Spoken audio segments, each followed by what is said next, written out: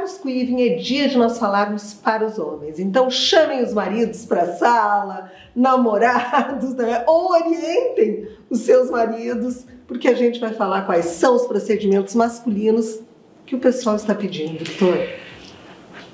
O homem cada vez mais está se cuidando. É Com certeza. Deve Foi isso também, tempo, exa né? exatamente. Foi então, assim, ó, a gente vê na moda, nas academias. Com certeza. Né, o homem está se cuidando mais. Ele, ele, ele notou que, na realidade, o cuidado com a saúde, que é uma coisa bem mais óbvia, que o cardiologista dele manda ele se cuidar. Claro. ah, Todo mundo manda o homem se cuidar e ele notou assim que o cuidado é uma coisa A global. É uma coisa, é uma coisa não é um global. cuidado, é. Então, assim, ó, a preocupação com a saúde, com, né, com- com a parte realmente clínica de saúde, é, não custa nada também. Dá um- É, uma- uma- o que- fazer uma coisa mais geral e cuidar da estética também. Claro, até porque no momento que tu cuida da estética, tu tá trabalhando a tua autoestima, o Exatamente. equilíbrio emocional, tu com autoestima bem, tu fica com equilíbrio emocional ok e pronto para enfrentar qualquer coisa, não é, E doutor? Tem a ver, estética, É, a estética e a saúde ela tem muito a ver. ligados, não tá? é? Não é exatamente a mesma coisa, mas tem muito a ver. Claro. Quando a pessoa começa a fazer exercício, começa a comer melhor, naturalmente ela vai perder mais peso, vai ficar mais em forma. Claro. Tá? Então, assim, e os homens estão imbuídos nesse espírito também. Então, assim, naturalmente, nos consultórios de cirurgia plástica, a gente tem a presença maior de homens agora. Tá? E tem alguns procedimentos que são mais realizados por homem. Tá?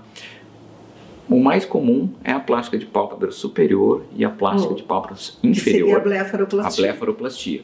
Então, para tirar aquele aspecto pesado, aquele Cansado, aspecto de, é? de vovô. é, Então, assim, muitos homens fazem. E principalmente na pálpebra inferior, para tirar aquelas bolsinhas de gordura que dão um Sim. aspecto ah, que faz muita gente. Ah, doutor, tem gente que acha que eu bebo, que eu não durmo direito. É, então, assim, isso dá um aspecto pesado carregado. É. A gente faz bastante isso, tá? O outro procedimento que se faz muito são os implantes capilares. Hum. Começou a perder cabelo, começou as entradas começaram a aumentar. Então esse é o procedimento que está se fazendo bastante, ah, cada vez mais. Os E resultados eles- estão cada vez esse melhores. resultado dos implantes capilares, eles começam a aparecer ah, quanto tempo depois da cirurgia? Normalmente leva hum, a partir de três meses até Tá. um ano. A lipoaspiração sempre se fez. Muitos Hum. homens acabam fazendo. Só que hoje em dia, mais ainda. Tá?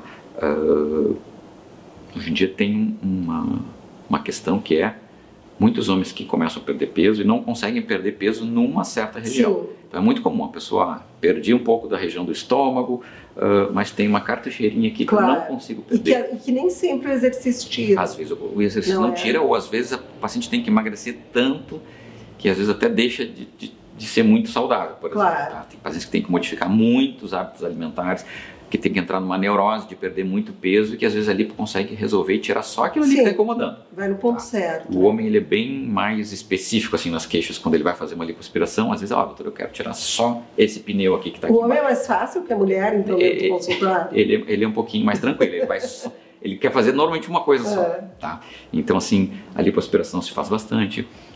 Em muitos casos, rinoplastia. E nos últimos tempos, bastante plásticos de rosto também, tá? Então esse é um procedimento que está aumentando também. Tem homens que estão perdendo medo de mexer no rosto, ou eu acho que o, o fundamental o homem perdeu a vergonha de dizer que fez um procedimento. É, eu acho que é mais isso, não é? É Perdeu a vergonha. Perdeu a Eu vergonha. Hoje em dia é é assunto de. de- Tem muita rodinha de festa que o, o homem às vezes já avisa: olha, semana que vem eu vou fazer uma plástica lá e vocês não, não me incomodem, É. chega de piadinha, eu vou fazer Chega, plástica não semana que vem. mais, é. E pronto. O Então, assim, hoje em dia, meu não botox esconde faz muito, muito homem fazendo botox para não ficar com aquele ar tão carregado. Né? Então, tem muito homem que faz botox nessa região aqui do meio da testa, porque tem muito homem que tem essa prega Claro. muito forte. A procura por procedimentos estéticos do homem está aumentando. É, e isso, eh, gente, a gente quer deixar bem claro que é uma questão de autoestima, de amor próprio. Isso só faz bem, não é? Porque no, no momento que a gente está com a autoestima lá em cima, que a gente gosta do que vê no espelho, a gente se sente mais preparado para tudo, não é, doutor? É isso Em aí. todos os sentidos, não é? Com certeza. Foi-se o tempo que a gente esperava ir ladeira abaixo. Ah, hoje em dia, às vezes, Se a gente tem os recursos, não tem por que não É. fazer uso deles, né? Às vezes eu estou no supermercado e a gente vê assim, um senhor com um óculos escuro no super, e às vezes a gente já por, por, por ser da especialidade. Claro. Às vezes eu bato o olho e falo com a minha esposa, tu vê lá, aquele ali fez uma plástica, fez uma blefaroplastia, tá com inchadinho no canto do Claro. olho. ali. Aquele senhor lá com óculos escuros, no meio do super, lá às vezes fez uma plástica de E pálpebra. não precisa esconder, não é? Da Exatamente. mesma maneira que a gente pinta o cabelo, que a gente se arruma para sair de manhã, a- as- essas intervenções, elas só nos ajudam Com a gente a certeza. se sentir melhor, né, Com doutor? Semana que vem, doutor Quirin está aqui conosco para tirar mais dúvidas sobre cirurgia plástica e saúde.